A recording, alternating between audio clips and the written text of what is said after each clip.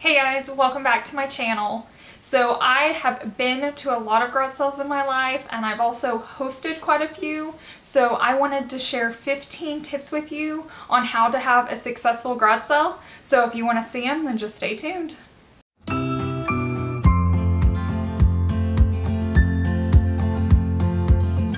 Tip number one, petty cash.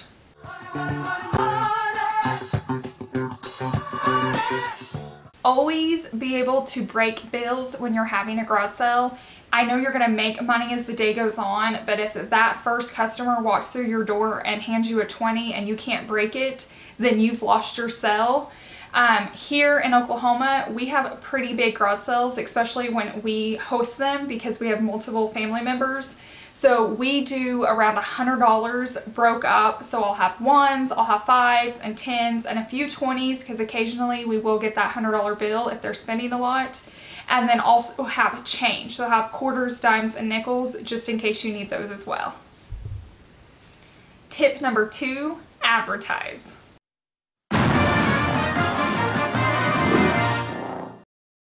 So the first thing you're going to need to do is set a date and then a start time. You don't necessarily need an end time, but I would say I'm going to start Saturday at 8 o'clock and then know what date you're going to host the garage sale on so that you can start posting either the day before or two days before so you can draw interest into your garage sale. So the places I like to advertise are Craigslist and Facebook and I think those are two good ones because they're free. Facebook is good because you have a lot of friends and family that are local and if they see it they'll want to come especially if they know you and then Craigslist is good because you get a wide range of people and people are willing to drive for garage sales. I'll go 20 30 minutes if there's a good one and they have great pictures so advertise really well and put pictures in those ads. Take pictures of items uh, if you have if you can get it set up in your garage a few days before, then get a wide picture, but also zoom in and get your high priced items. Like if you have a sofa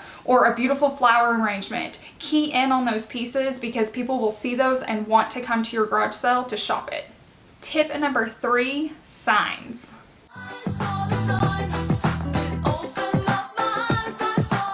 You are going to want to put signs to get people there. I am terrible with addresses. So if you just have one random sign at an intersection and it has an address that I can't even see to write down and I'm passing it, you're gonna lose me. I don't know how many times we've pulled into a neighborhood and me and my husband drive around and drive around and can't find it. And so we head out and go to another one. So you will lose business that way. Have signs getting you from every turn, every spot that they need to turn to get to your house have a sign there and an arrow pointing which way and have the signs matching. When they start becoming different colors and different designs, you don't know if that's two garage sales or if it's just one, have you missed one? So be very clear. I also add balloons to mine, which were kind of further out to draw your attention or to spot them. So make sure they're bright or you have balloons and they're eye-catching and that they will lead straight to your house. Tip number four, pricing.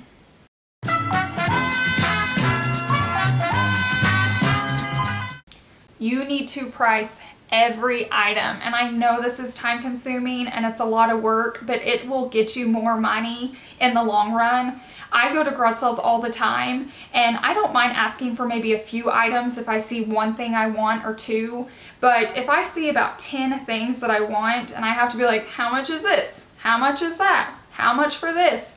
I give up and we walk away. And I don't want to just pick up all those items and go to check out because I don't know what you're asking for them. I may only want to spend $5 and you may be asking 20 and so I don't want to go check out and then have to put those items back. So price everything.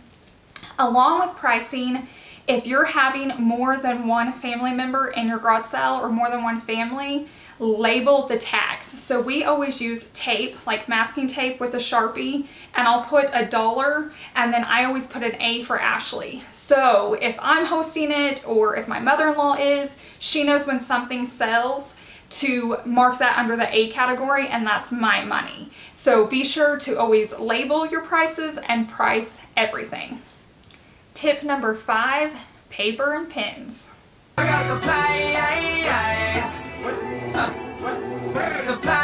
You always need to have a paper and pen around for multiple reasons. Number one, if you're having that multi-family garage sale and there's different labels, have categories so as stuff sells, you can mark down. Mom got this, dad got that, or Sally May got that. So you can write everything down in labeling. You'll also want pins around because as the day goes on, I'll also mark down items. So I'll walk around and what's not selling, you can mark down. People will also ask just random things that you'll need to write down or if you have any leftovers they want to come back. I feel like I have a ton of notes at the end of the day, so always have paper and pen close by. Also keep a calculator close by just for adding purposes or if you do, sometimes people will come in and spend like a $100 and so you'll have about a 100 pieces to add up. So always keep one of those nearby just so you don't make any math mistakes. Tip number six, organizing your garage sale.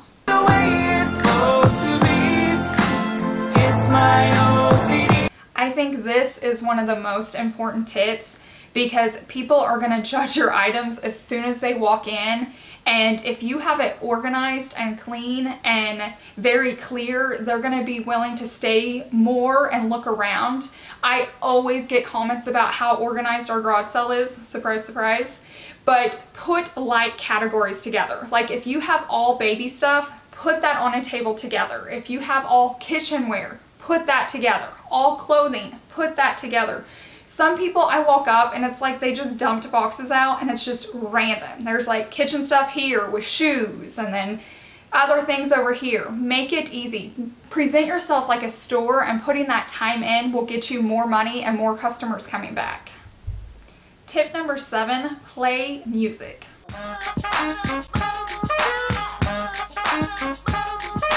It's a really good idea as customers are coming in, especially in the beginning if it's slow, to have either music or radio on or your Pandora app. It just kind of sets the mood and makes it more relaxed. It's kind of awkward you walk in and somebody's just watching you shop their items and it can be awkward and you might just want to leave. So to make your customers feel welcomed and just friendly vibe, go ahead and put some music on. Tip number eight, air fresheners.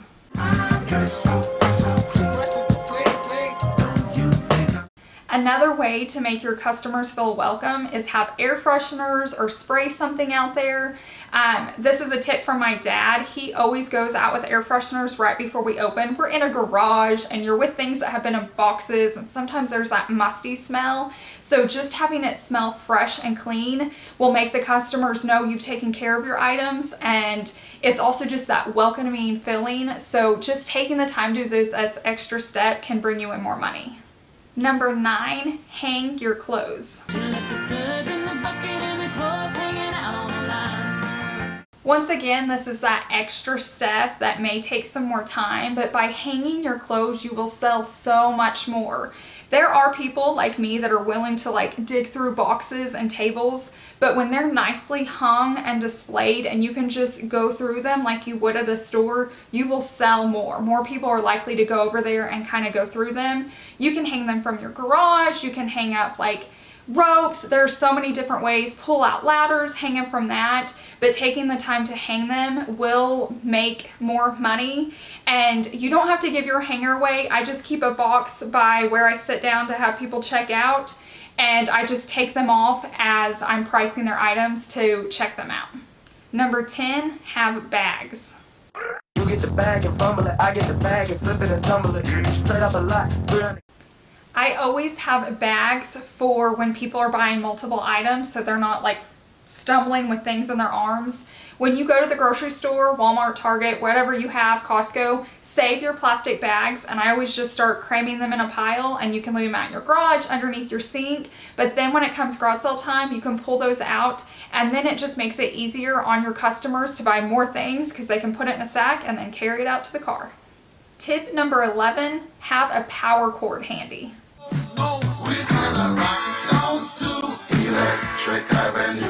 If you're selling anything electric that needs to be plugged in, have an extension cord ready to go, have it plugged in, have it sitting nearby. So if they're buying a lamp, they can plug it in and check it. Most of these people don't know who you are and they don't want to spend a lot of money on an item to get it home and be broke. So fans, lights, anything like that, tools, have it where they can plug it in, check it out, and then they can buy it and be on their way. Tip number 12, be helpful.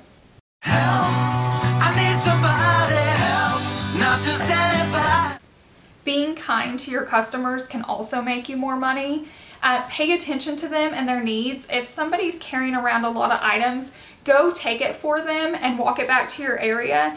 And this also helps you in the process because you can go ahead and be taking the prices off and getting it added up. So as they go, you're just adding the total. That's where you can also keep the pen and paper close by to have their running total going and then they're not lugging it around. Also, just be kind and don't be disrespectful. People are gonna wanna bargain with you and that's kind of the name of the game. So be willing to come down on prices and being kind. Um, also, help them carry out. I keep my husband nearby, so if I'm checking people out and we're selling a large piece of furniture or it's just a little old woman and she's got a lot of bags, help them to their car and assist them and they will always come back every year. Tip number 13, be on time.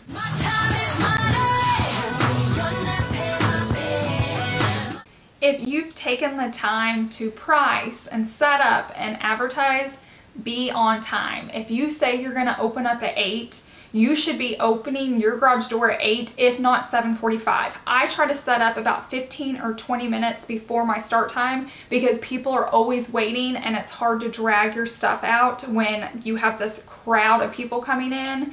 So be fair to everybody. If you say you're going to open up at 8, open up at 8 and be ready to go. Tip number 14, liability sign.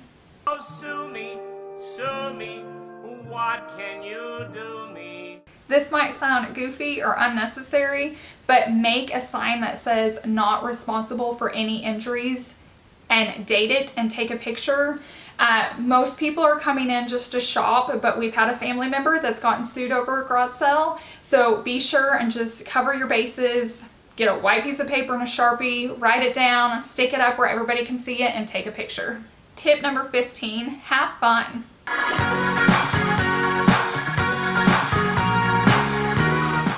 You've worked so hard, you've prepped, you've prepared, Now's the time just to sit back, have fun, don't stress, make lots of money. If this is like a multi-family garage sale, have people come over. We've done this with life groups, we've done this with family members, and we just chat and hang out the whole time and talk with our customers and learn things about them. So just have fun and relax because if you're stressed, you're going to stress your customers out and they're going to want to leave. So just relax and have fun to make it fun, like we just have these things that we always do and we always have donuts for breakfast. So whoever's hosting it, we take donuts to. Um, for lunch, we'll order pizza and just hang out. So there's a way to make sales fun and social instead of so stressful and boring. Okay guys, that's my 15 tips for a successful sale. I hope you enjoyed them. I hope you learned something new that you didn't know before. I hope this helps you in your next sale. If I missed any that you think of, leave them down in the comments box because I'd love to read them. Maybe there's something I haven't been doing this whole time. Um, if you're not following me on Instagram, head over there. Yesterday I made a post to ask questions for a finance video me and my husband are filming, so go and check that out.